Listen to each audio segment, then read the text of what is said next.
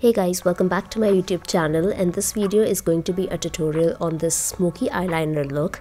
This is quite a simple look to achieve once you practice it once or twice. So I'm starting off the look by doing my eyebrows. Now as you can see I have already done one of my brows and I haven't applied a lot of product. I usually prefer doing my brows using a brow powder and here I'm using the Sigma Duo. It's a brow powder in two shades. Um, I have naturally very fuller brows so I do not apply a lot of product product just applying a little bit in the areas where I feel my brow hair is missing does the job for me. Next I'll be taking this P. Louise base in the shade 02 and on a flat concealer brush I'll be applying it right beneath my eyebrow arc and I'll be applying it all over my eyelids as a base for our eyeshadow.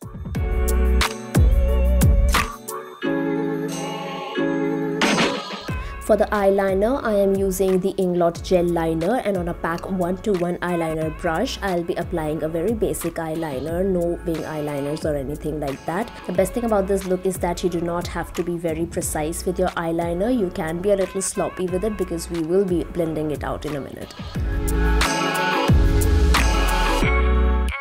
Now on a very small detailer brush, I am taking some black eyeshadow. Here I'm using the Huda Beauty Remastered palette. You can take any black eyeshadow, it doesn't matter. We will be packing that black eyeshadow all over the eyeliner and using very light hand and very small stroke-like motions, we will be smudging that eyeliner out. After packing that black eyeshadow, I am taking a clean blending brush and I will be blending that eyeshadow.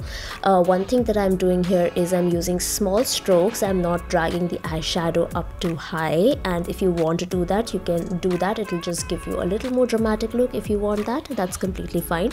I'm just keeping it very precise. Next I'm taking brown eyeshadow on a small blending brush and I'll be blending it with the black eyeshadow. This will give a very beautiful transition effect to our smoky liner look. One little tip that I would like to give is that whenever you're working with black eyeshadow, always do your eye makeup first and then do your base makeup because there can be some sort of fallout and that might ruin your base. So to save yourself from that hassle of touching up and redoing your base, always do your eye makeup first. Now this is just my personal preference and I find this helpful. You can do whatever suits you the best. Also, while blending your black and brown eyeshadow together, if you feel like that your blending is a little bit harsh, you can always go in with a big fluffy blending brush, a clean one, there should be no eyeshadow on it. Just run it across your lids and that will smooth out all the harsh lines.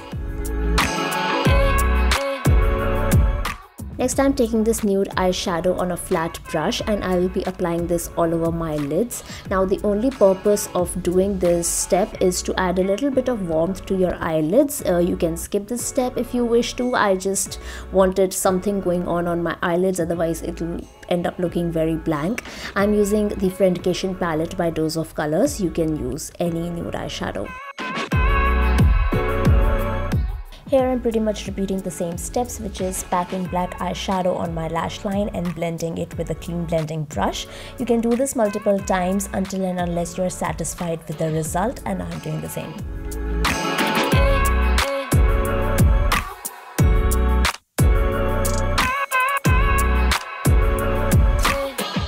Here I'll be doing my other eye not using the gel liner. Instead I'm using the kohl pencil by Sugar Cosmetics just to give you an idea that you do not need to have a gel eyeliner only to do this look you can use your kajal pencil as well. The result will be absolutely perfect.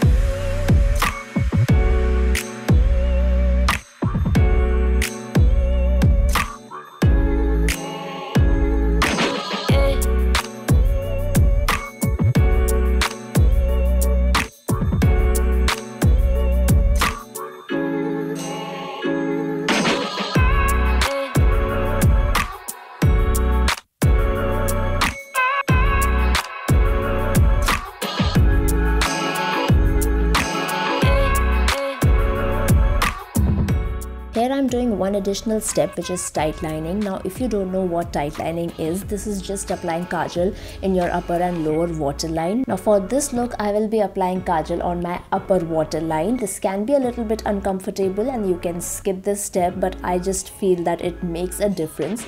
As you can see in this clip, my left eye has been tight lined and you can see it looks so dark and intense as compared to the right eye which I haven't tight lined and you can see that there is some skin that is peeking through and that's exactly the difference tight lining makes. Lastly, I'm coating my lashes with mascara. Here I'm using the Zoom and Whoosh mascara by Color Bar Cosmetics. Now this could be your last step. You can do your base and your lips and you're done. But if you want a little bit of more drama, you can add a light pair of eyelashes.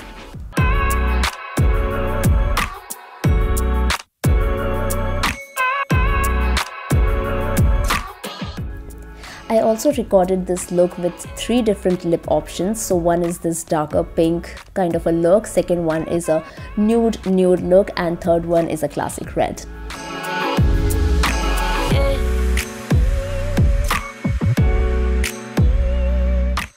I also did a little variation to the eye look just by adding a little bit of glitter or any kind of a shimmer shade right in the center of your eyelids can completely change this matte day look to a beautiful evening party look. I'm using the shimmer shade from the Friendcation palette by Dose of Colors. You can use any shimmer shade, you don't even have to apply it on your complete eyelids, just in the center will change this look.